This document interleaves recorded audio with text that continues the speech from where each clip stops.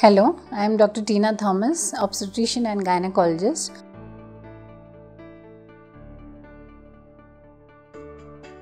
Sperm friendly lubricants can be a lot of lubricants which are used when there is difficulty in um, intercourse, when there is difficulty in penetration. In such cases, these lubricants are used to, to help both the couple from the avoiding avoiding pain and all that.